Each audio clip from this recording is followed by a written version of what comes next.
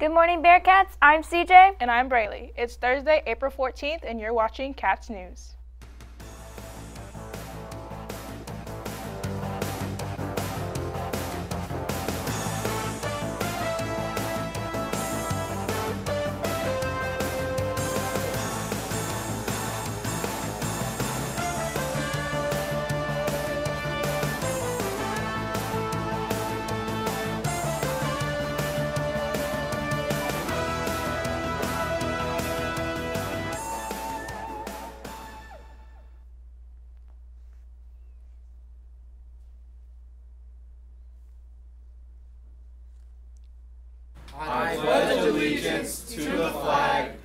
The United States of America and to the republic for which it stands, one nation, under God, indivisible, with liberty and justice for all.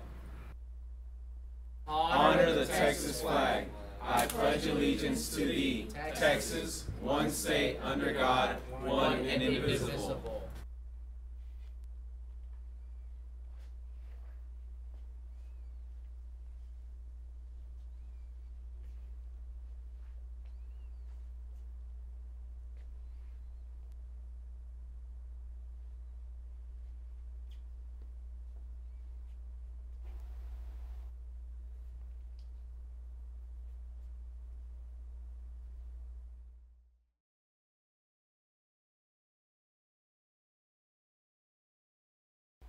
SHS Interact Club is having people volunteer to shave their heads for a good cause. If this is something you might want to watch, all you have to do is pledge some money on behalf of participants and you get to watch it happen.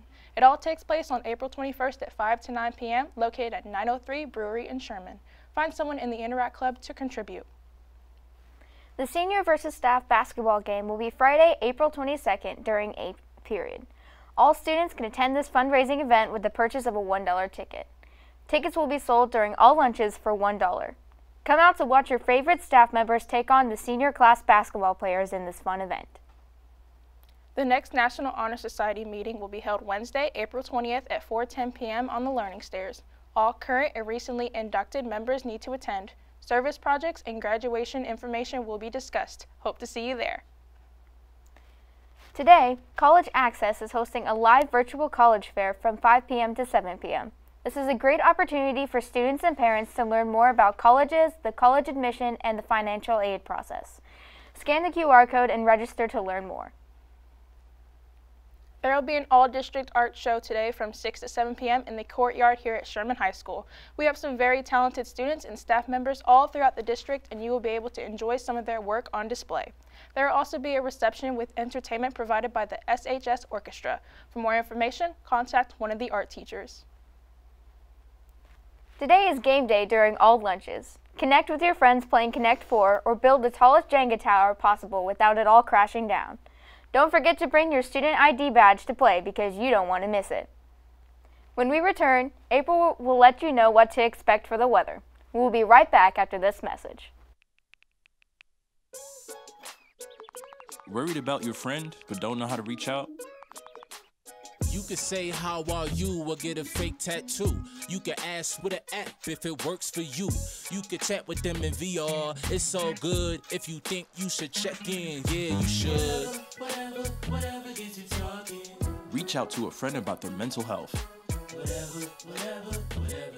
Learn how you can help at seizetheawkward.org. And now for a look at your weather.